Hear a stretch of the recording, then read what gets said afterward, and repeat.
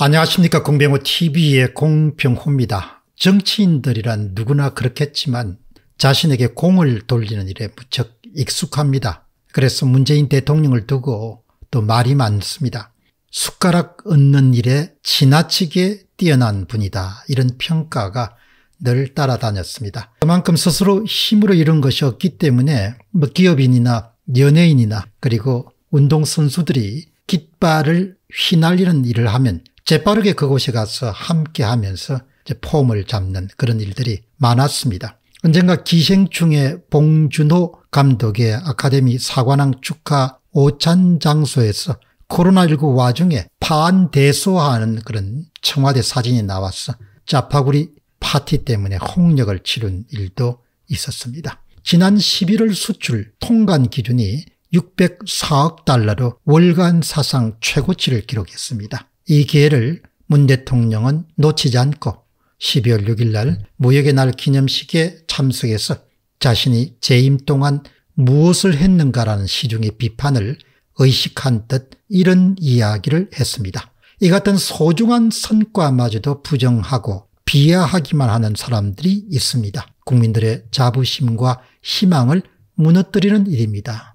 자신이 무성과라는 그런 부분에 대한 비판을 의식해서 아마 이 같은 메시지를 발신했다 이렇게 봅니다. 12월 7일 날 조선일보 사설은 무역으로 선진국 뭐 도운 게 있다고 공치사나라는 그런 작심 비판의 글을 실었습니다. 사설은 문재인 정권 동안 기업에 가해진 다양한 그런 규제와 족쇄와 괴롭힘을 하나하나 나열한 다음에 결론으로 다음과 같이 주장하고 있습니다. 문 대통령은 일부 세력이 무역으로 선진국된 성과를 부정 비하한다라고 비난했다. 그러나 무역 입국의 눈부신 성과를 부정한 것이 누군가 정권 주변의 좌파 운동권과 친문 세력은 수출과 산업화로 경제를 발전시킨 현대사의 성취를 폄훼해왔다. 반기업 폭주를 지켜만 보던 대통령이 무역으로 이룬 성과엔 숟가락부터 얻는다는 국정쇼와 생색내기 내공으로 보면 역대 정부 중 금메달감이다. 이렇게 아주 냉소적인 그런 주장을 펼쳤습니다. 그런데 이 같은 월간 사상 최고치의 수출 이면에 있는 짙은 그림자를 지적하는 분이 있습니다. 월간 기준 수출 사상 최고치 기록이 갖고 있는 그야말로 아주 어두운 면을 함께 살펴보도록 하겠습니다. 신세돈 숙명여대 경제학부 명예 교수가 수출 금액 신기록 이면에 3대 불안이란 제목으로 문화일보에 기고한 글에는 우리 경제와 우리 사회가 지금 직면하고 있는 문제점을 고스란히 드러내고 있습니다. 세 가지 포인트로 나누어서 재구성해 봤습니다. 첫 번째는 수출의 성장 기여도가 형편없이 떨어지고 있다. 신세돈 명예교수의 주장입니다. 지난 3분기 경우 경제 성장률은 4.0% 전년 대비 그리고 26%나 증가했던 수출에도 불구하고 순수출 그러니까 수출의 수입을 제외한 부분의 성장률 기여도는 10분의 1에 불과한 0.4%포인트에 지나지 않았다.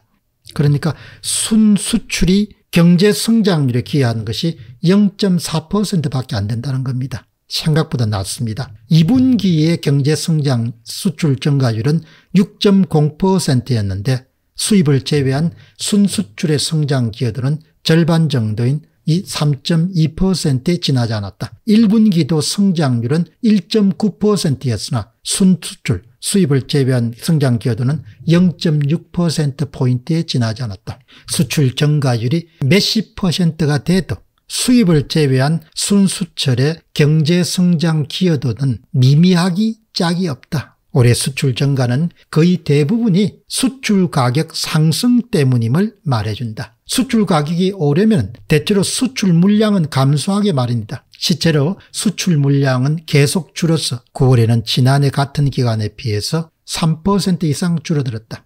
다음 두 번째 포인트입니다. 수출 증가는 대부분 수출 가격 상승 때문이다. 이것은 곧바로 수출 물량 감소와 함께 일어난다. 신세든 명예교수의 주장입니다. 우리나라 수출의 특성상 수출이 늘기 위해서는 반드시 원료나 원자재 수입이 늘어나야만 되는 구조 때문이다. 최근에는 수출 증가율 이상으로 수입 증가율이 늘어나고 있다. 최근에 기록적인 수출 증가율에도 불구하고 걱정이 쌓이는 이유다. 수출 증가가 주로 수출 가격 상승이라서 수출 물량은 줄어들고 있으며 수출 물량 감소 때문에 수출 금액마저도 그 증가율이 점점 둔화되고 있는 추세다. 밝게만 볼 수 없다는 겁니다. 세 번째입니다. 기업 투자가 점점 더 해외에서 이루어지고 있다. 시진동 명예교수의 주장입니다. 2010년대만 하더라도 연간 300억 달러를 넘지 않던 해외 직접 투자가 2019년도에 644억 달러, 2020년도에는 565억 달러를 기록했고 올해 상반기만 하더라도 278억 달러로 늘었다. 이런 추세라면 올해는 거의 600억 달러, 원화로는 72조 원 정도가 해외 직접 투자가 일어난 셈입니다. 지난해 기준으로 국내 설비 투자가 총액이 174조 원이기 때문에 약 국내 설비 투자의 41%가 해외 직접 투자로 일어났다. 결국 기업의 국내 투자가 위축되면서 수출 기지를 국내에서 해외로 빠르게 옮겨가는 그런 일이 벌어지고 있는 것이다. 앞으로 수출 기반과 성장 기반 및 일자리가 동시에 사라질 것임을 시사하고 있다. 하나도 반길 만한 일은 아니라는 것이죠. 우리 사회에서 반시장과 반기업 분위기가 팽배하면서 일어나고 있는 실상은 사실 안으로 곰고 있다는 것이 적당한 진단일 것입니다.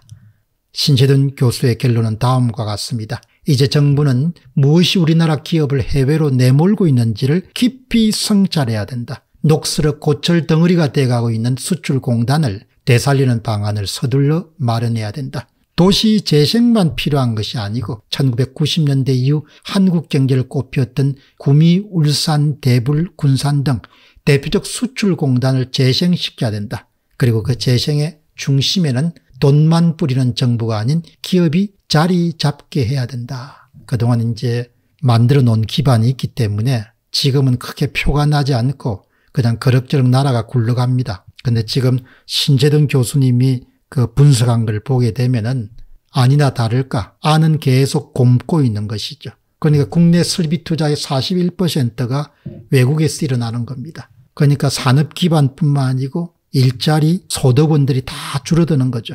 그러니까 세금에 의존해서 살아가는 사람들 숫자가 더 늘어나게 되는 겁니다. 그 사람들 또 매겨 살리기 더 또 높은 세금을 때리는 거죠. 그럼 기업들은 또 그것이 대부분 원가 인상 요인으로 작용하기 때문에 또 생산 기지를 옮기는 거죠.